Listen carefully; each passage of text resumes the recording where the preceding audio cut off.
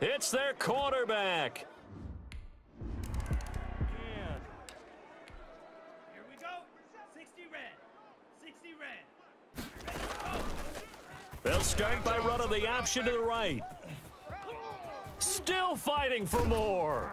How you Still, like me and now? I think he's gonna go. They're not gonna get him. The 20, 10, 5, and he's into the end zone. Touchdown, Buccaneers.